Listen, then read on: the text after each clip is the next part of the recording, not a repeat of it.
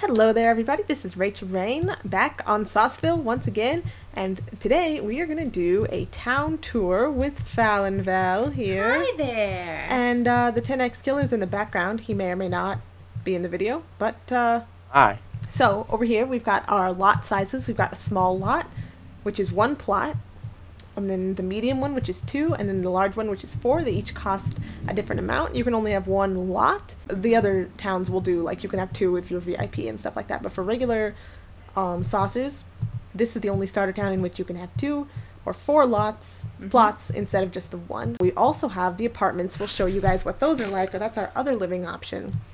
But basically, what you can do is you can stay in a room in the apartments. It's got chests in it, it's got furnaces, it's got crafting table, it's got an ender chest, everything like that. But you can't build or destroy. You can basically stay in there, and um, switching perms are on, so you can keep all your stuff there and everything.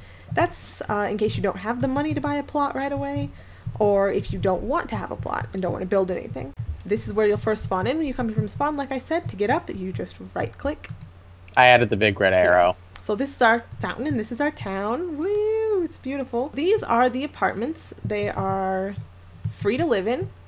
And then down here are the stables for the apartments. If a horse, you can keep him in here, but we haven't really figured this out very well yet. So You can just uh, slash lock these gates, right? yeah, but you'll have to lock both of them. Yeah, you will. It'll cost 200 to house your horse, but Yeah. they'll be safe in there. Yeah. So you can right click any of these signs to go up to the floor you live on. That way you don't have to click a million times if you live on the top floor or whatever. hmm So let's say we want to go to where do we want to go? Sixth floor. Sixth floor. Okay. So this is the sixth floor. You can stand over here on the balcony and peek down. I would advise not jumping, but um, you know, it's up to you. These are the apartments. So like I said, there's furnaces in them, there's chests, and then there's one ender chest also. And then there's some like decoration stuff and one crafting bench. If you want to live in any of these apartments, Okay. they're all different. Mhm. Um, well, sort of. They're all different dish. Yeah. Um, you do slash lock on the doors, and you should only have to do it once for both sets of doors. And uh, so it will cost you 100 credits to reserve your room. You'll get it back if you unlock the doors. hmm Next is the resource center, which is this big viney building. So we've got uh, obviously the enchanting table here, and a chest. We've got anvils for you to use, a little like area for you to sit in here. Take an item, leave an item chest, and this is the grinder, the Timshel Town grinder. Will you demonstrate? Oh, I guess I will. Push the button for a three-minute turn. It'll close like that. So then you can kill them. You can click this lift sign to get down here to where all of the drops are. Wow. Mm-hmm. People are not taking all this stuff. Then over here we've got the re- rest of the resource center where we have potatoes and carrots, wheat and seeds, melons and pumpkins, wood and saplings, sugar cane, beef and leather, eggs, and the observatory. So beef and leather. This You- design is by 10x. hmm So you'll come up to this room and then just jump on this and it'll give you some leather or, some. So the last major building in the cent- town center is, is the, the chest, chest shops, which is right up here. We've got all the instructions on how to make a chest shop.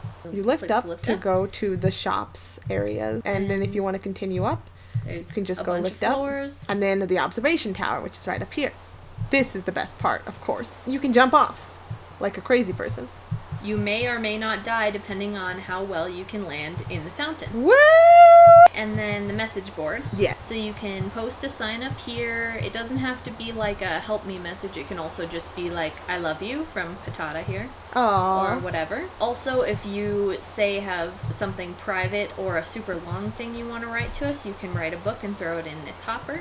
Over here, mm-hmm. also we have our town um, Blaze grinder. blaze grinder. It's Yes, made by our assistant Patata. who is awesome. He also made us an ender farm. Yeah, how do you which you can farm? get to by typing slash town outpost one. slash town outpost one.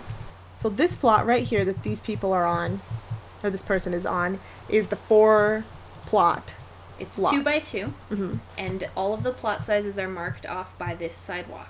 It's pretty simple. You just need to buy whatever is inside of the sidewalk. So these are the single plots. Only one per player, so if you decide to make your uh, area bigger, you have to move to a new, bigger area. Right. You can't just.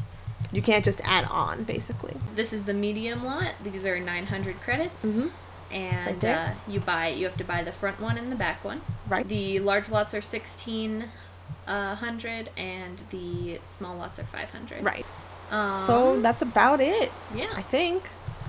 I think Um, that that's about it. We we have the lot sizes to for reasons, Mhm. and if you have a complaint about your lot size, you should bring it up with us and not try to change the sidewalks because you can get in trouble with us if you do that. Yes. All right, so that's about it. And thank you guys so much for watching. Let us know in the comments if you have any questions, Mhm. and let us know on Sauceville. If you like mining, come on, let's go. It's time for the Rachael Rhyainn Show. Grab your horsey, it's time to ride to the place a hundred blocks in the sky.